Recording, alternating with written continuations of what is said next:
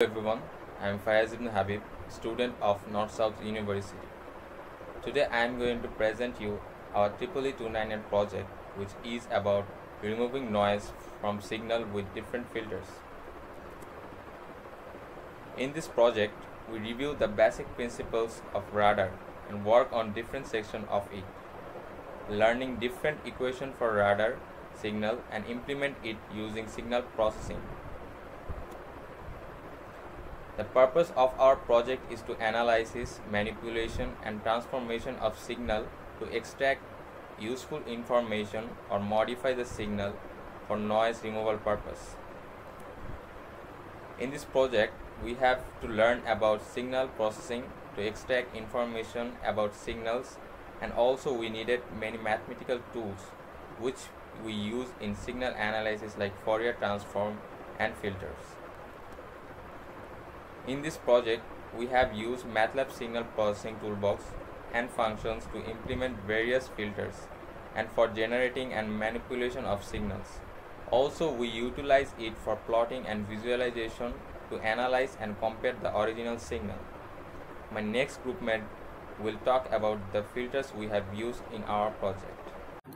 Thank you Fayaz Ibne Habib আসসালামু আলাইকুম everyone now I would like to talk about an essential aspect of signal processing filters filters play a vital role in shaping and modifying signals allowing us to extract useful information eliminate unwanted noise and enhance the quality of various types of data in particular I will focus on four common types of filters the median filters, low pass filters, uh, high pass filters and band pass filters. Let's start with the median filters. The median filters is a non-linear filter that replaces each pixel value in an image with the median value of its neighboring pixel. This type of filters is particularly effective in removing impulsive noise such as salt and pepper noise. Uh, by considering the median outlier can be effectively eliminated resulting in cleaner and more accurate data representation. Moving on the low pass filter is a fundamental filter that allow low frequency components to pass through while attenuating higher frequency components. It is commonly used in signal processing to remove high frequency noise and smooth out signals. For example, in audio application, low pass filters can remove unwanted high frequency noise resulting in a cleaner and more pleasant listening experience. Conversely, the high-pass filter allow high-frequency components to pass through while of uh, while attenuating lower frequency components. This type of filter is useful for application where we want to preserve or enhance high frequency details while removing low frequency noise or unwanted baseline shifts in image processing high pass filters can sharpen image by enhancing ends and fine details making them more visually appealing and informative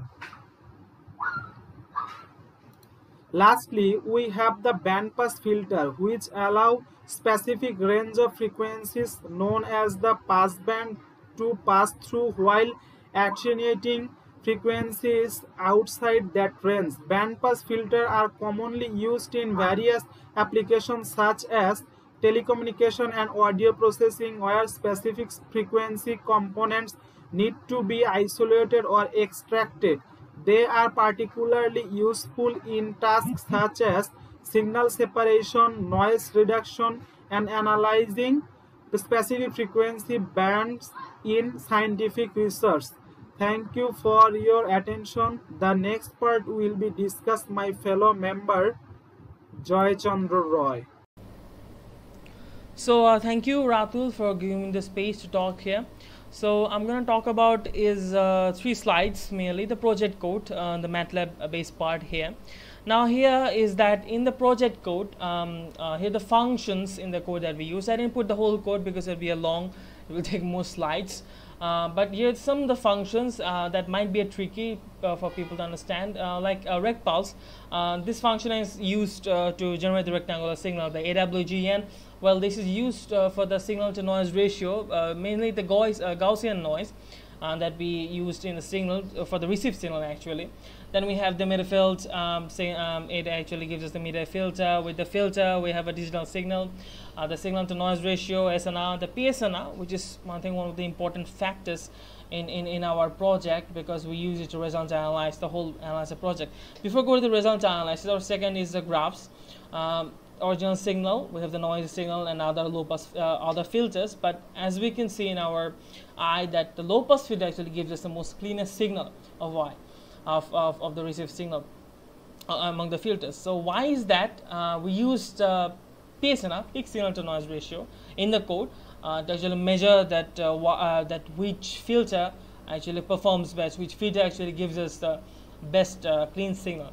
And among this, we saw the low pass filter actually has the more PSNR value, thus telling us it is the most cleanest signal. Now, the reason behind that is that um, uh, in environment, um, every signal, when we receive uh, some signal, there is usually noise, and the noise are mostly high frequencies, uh, especially high frequencies. Uh, so um, for on that fact, um, the PSNR, um, the low pass filter, sorry, the low pass filter, what does the low pass filter does is that it actually uh, only passes the low frequency signal and ignores the high frequency signal. Now, as our signal, uh, as if you factor out the uh, our original signal, we can understand the environment, the signal, the noise signals are always high. So as a, as a result, when low pass filter acknowledge the signal, it actually also acknowledges the whole noise. So for a fact, uh, we understand the low pass filter actually gives us the most uh, um, cleanest signal value, uh, the cleanest signal in the receive. So uh, this is uh, all uh, we had the project. our project was about this um, that uh, we use four filters and we wanted to understand that what uh, um, which, which, filter actually um, gives us um, the most clear signal because this mechanism is used in radar principle uh, which came from the Doppler effect. Uh, so uh, me, uh, me and our my group mates we all did this the code to see which filter and we got the result as you can see in our eyes the low pass filter in our project is the one that gives us most clear signal. so thank you everyone for listening to us.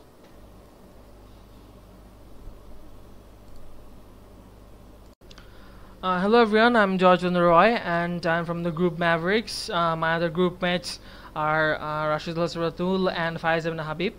Now I'll be demonstrating our whole project. Our project was um, is um, the removing noise from the signal with using different kind of um, filters. Now this idea came from uh, the radar mechanism because the radar when it uh, generates a signal and gets to receive the signal there's always of course there's noise on the received signal and radar actually uh, uh, you know uh, removes the noise from the signal and give the original signal to give a to have an important value.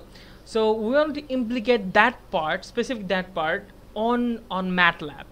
Now what we did it is here we first generated a rectangular pulse. As you can see in the code we gave the various value of the time, uh, the time difference and the 0.2 variation in here.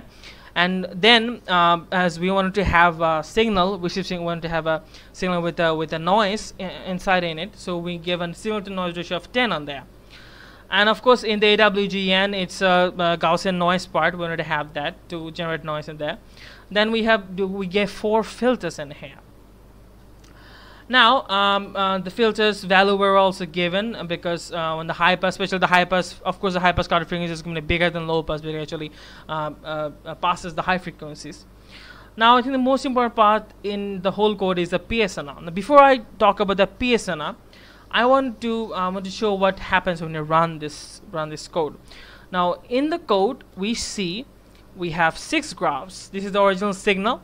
This is the noisy signal we receive with the signal to noise ratio of 10 decibel and then we have these four graphs now in your eye you can see the cleanest graph we here we have here with the clean, uh, less fluctuation is the low pass filter in the low pass filter if you compare, even, uh, let's compare to the high pass filter. um, the high pass filter, the whole frequency is just a linear thing, and this actually proves that the noise we have are on high frequency. As a result, on a low pass filter, we get um, less noise um, from the um, um, we, we have less noise and we actually get close to the receive the cleanest receive signal we have um, now there's another way to prove that. It's the performance comparison.